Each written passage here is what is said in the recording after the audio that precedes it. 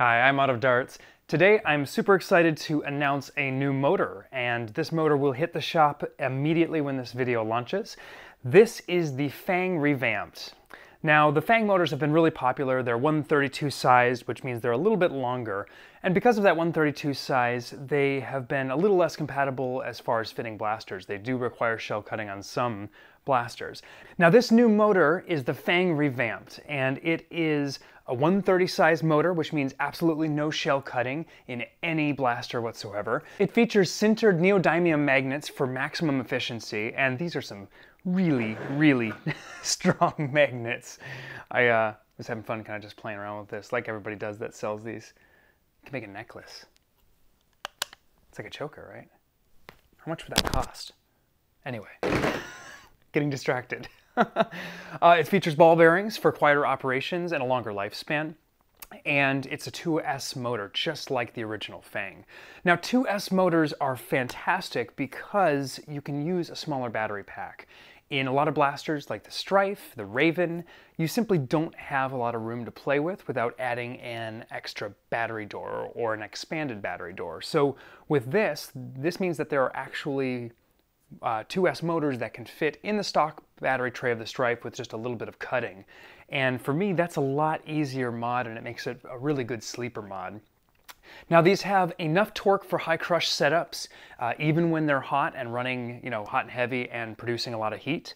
And they are low enough stall current that there is no need for a MOSFET. So you don't need to wire up a uh, MOSFET circuit, uh, like say you would on one of the higher, um, like uh, 180 motors, Neo motors. Uh, now, Michelle over at Foam Blast has tested these and they have got 162 FPS with the original worker wheels, that's the white ones, and, 100, and a 41.5 millimeter cage. So that's a very high crush cage with lightweight wheels. That's about maximum uh, FPS you're gonna get.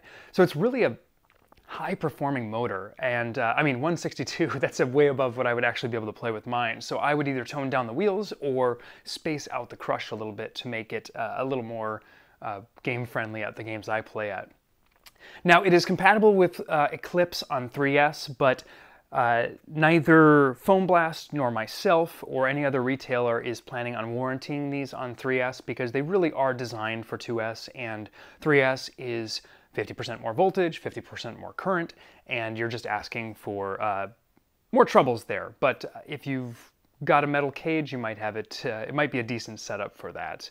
Um, the logo itself on here, as you can see, the Fang Revamped was designed by a certain undead nerfer that we all love and uh, who's responsible for getting many of us into this hobby, if not the majority of us. And it also features, just like the other foam blast motors. It's got vented housing, so it can uh, be better, uh, better cooled. Now these are very affordable. They're 750 a piece and they are really a premium motor and I am just thrilled to be carrying these. These are going to be available on the shop today and I will have some follow-up build videos where I use these in the videos. I am considerably busy with my new daughter who was born a, a week and a few days ago and I will do a video on her as well. And, uh, but I wanted to make sure I got this out in the meantime. I love that we have so many options for motors. When I started, I remember, when I started nerfing, it was uh, three and a half years ago, and I remember buying RM2s and thinking, whoa, these motors are great. And uh, wow, those were terrible, just, just terrible. And we've, we've come so far. I mean, on my shop alone, I sell eight, eight different motors for Nerf, and they were all specifically created for a hobby, and I think this is just fantastic. And I love Foam Blast as a company. I carry a lot of their products and all of their motors, and I can't recommend them enough.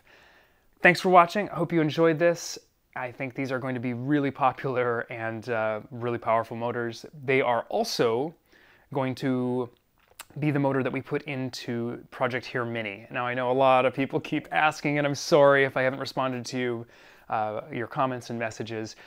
We are still working on it. We want to make sure, Tarek the designer and I want to make sure that the blaster is as good as it can be when it comes out and we want to avoid any uh, big downfalls or customer service pitfalls that we could could hit with a 3D printed blaster. So we're stress testing them, we're having other users build them, and we're going to be sending out some more sample units to let people actually uh, work on it. And simultaneously, I had a baby, so my time and sleep has been very little time, very little, oh, both little, very little time, very little sleep.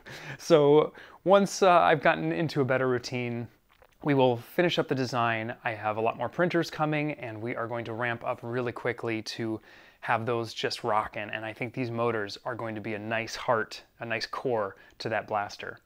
More to come this year. I'm super excited for 2018. I can't even tell you. Thanks for watching. I'm out of darts.